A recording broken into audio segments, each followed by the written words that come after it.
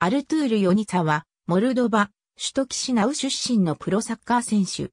イタリアセリエ A のベネベント・カルチョに所属している。ポジションは MF。2007年に国内リーグディビジアナツィオナラの FC ジンブル・キシナウでプロデビュー。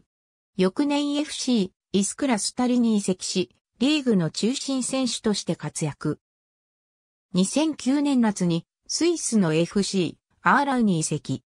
2012から13シーズン、2部リーグにあたるチャレンジリーグ優勝を経験し、スーパーリーグ昇格に貢献。2014年7月、イタリアのエラスベローナ FC に移籍。2014から15シーズンは18試合2ゴール、翌2015から16シーズンは31試合4ゴールを記録するなど、中心選手として活躍し、ユベントス FC、SSC ナポリ、さらには、プレミアリーグのスウォンジーシティ AFC が獲得に興味を示すまでの注目を集める。2016年7月、同じセリエ A のカリアリカルチョに移籍した。